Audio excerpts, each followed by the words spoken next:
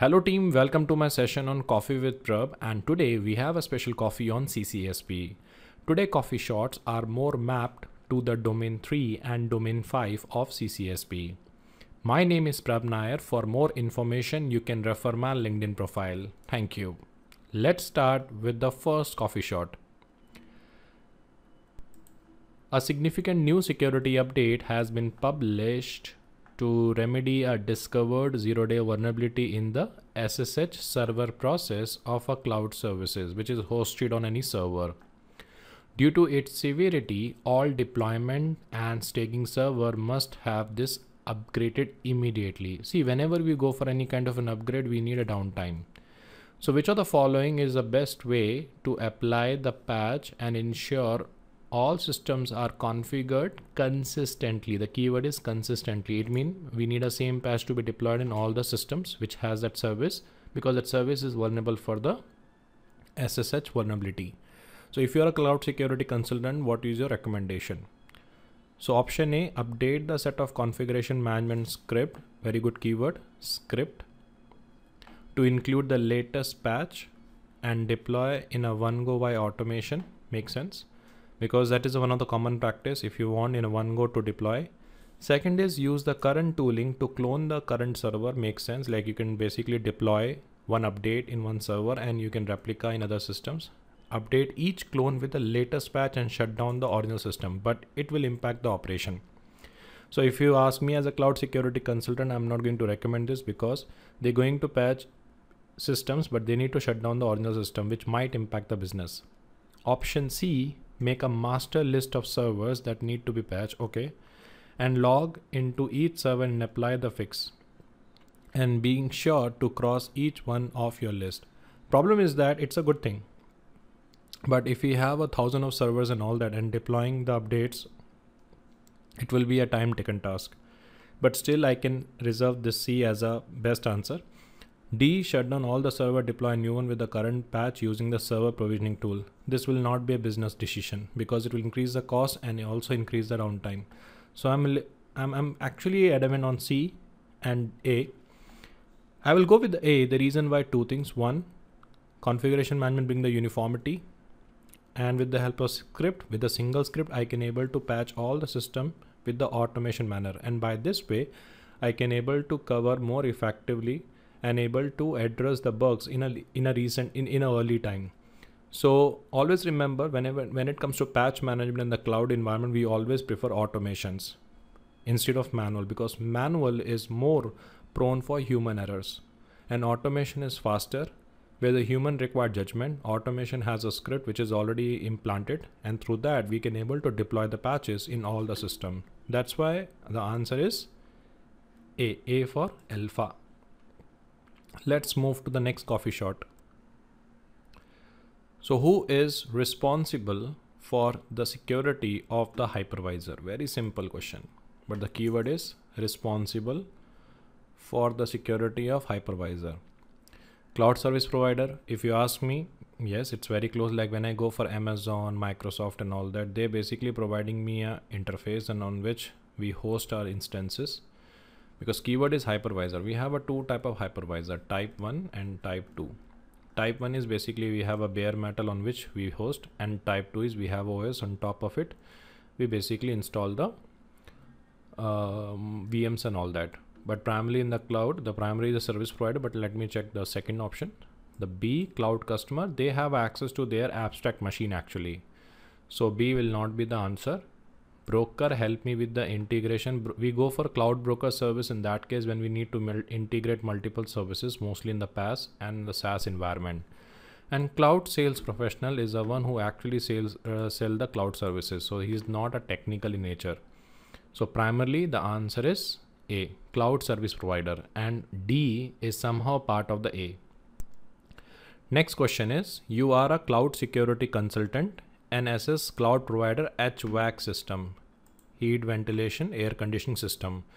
It is a system which basically cooled down the servers and all that by which we can able to improve the availabilities of the servers because effective cooling is basically used to manage the cooling parameters in the data centers and by which we can able to improve the hardware. And by this they can able to provide better services. And by providing a better services they will be available and they are able to achieve the better uptime so question talking about you are a cloud security consultant and assess the cloud provider HVAC system which report can help the cloud security consultant validate the educate controls which is specific to the HVAC system let me check the options we have a four options SOC 2 SOC 1, SOC 3 and ISO 22301. See, SOC 1 definitely not an answer because it's talk about more like a ICOFAR, internal control over financial reporting. So when we're looking for the financial viability or when we're looking for financial visibility or company existence in the market with the help of financial sheet and all that we verify. So B will definitely not an answer.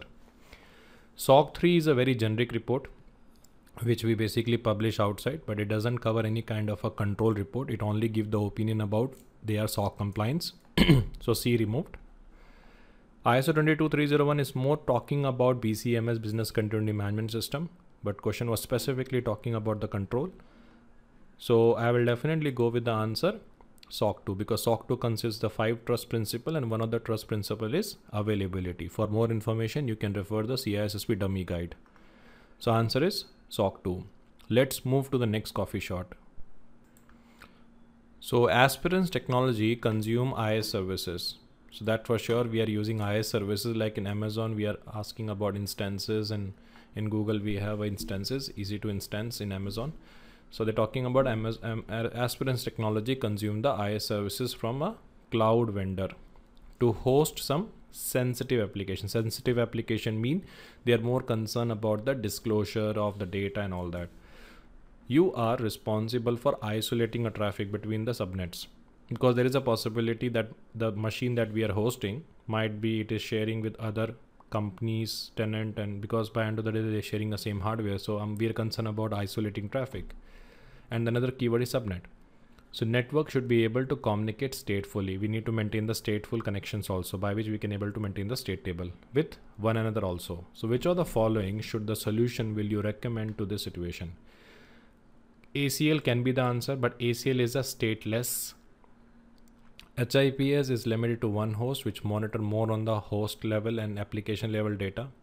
DLP prevent the data exfiltration. Again, it doesn't provide any kind of a isolation traffic security. So answer is basically configure security group. Security group is basically a stateful whereas the ACL is a stateless. That's why I'm going with the answer D D for delta because security group that we create in the VMs by which one VM can able to communicate with others or we can able to isolate the traffic but they maintain the stateful connection about the sessions. That's why I'm going with the answer D whereas a DLP HIP is more on the application level which monitor the content level inspection. The keyword was isolating. If the question talking about preventing data exfiltrations and all that, I will definitely go with the C, which is called as a DLP policy. Let's move to the next coffee. So cloud provider has several systems deployed in a cloud architecture. Provider requires to grant hardened virtual server image for provisioning purpose. The keyword is provisioning purpose.